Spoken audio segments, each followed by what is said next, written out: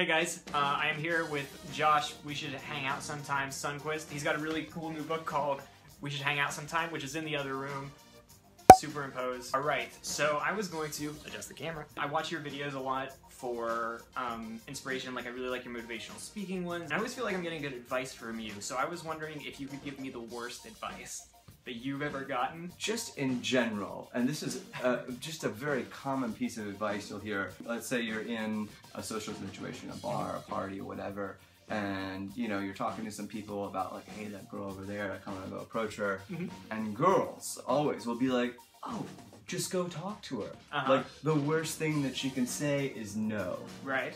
And I'm like, exactly. That is by far the worst thing that could happen. I will not ever approach a girl. In fact, like that's ultimately how I met my fiance.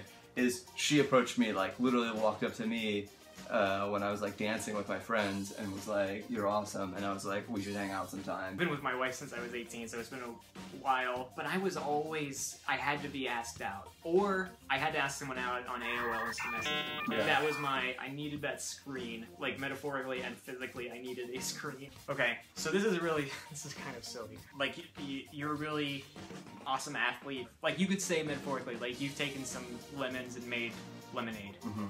So I wanted to know, what is your opinion of lemonade?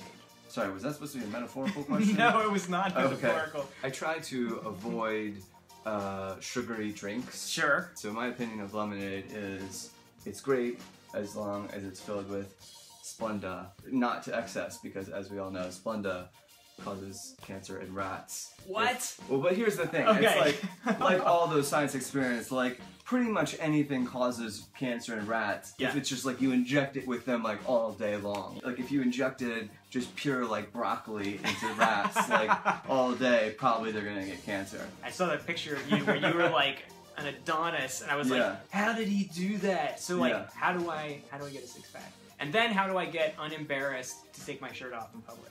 Yeah, well, uh, yeah, the, the second part, you have to become more of a douchebag sort of thing. Uh, okay. and everyone has a six pack. Have you ever seen one of those um, exhibits, you know, of the human body where they have sort of like, they take like cadavers and remove everything except for their muscle? Yeah, Like yeah, yeah. Right? And you look at those and people inevitably are always like, man, these people are so ripped. Everyone looks like that underneath their skin and then underneath the layer of fat. I'm not just totally making stuff up here. I did actually get a personal training certification at one point. Wow. Really, to get a six pack, you really don't actually have to work them out so much. Okay. What you do have to do is get rid of fat. Course, to lose fat, really, it's more about like eating really well. Do you ever, when you were a kid, do you ever have this idea of like the golden summer? I was such a nerd that I always fantasized like this is gonna be the summer where like I get really buff and everybody's gonna be like, who's that guy? Yeah. You know what I mean? Yeah, when you come back to school, you're like, "Whoa." Like I kind of joke about it now, but I was like, I'm not even gonna make a big deal about it. I'm just gonna come in like really buff without my shirt on and just be like,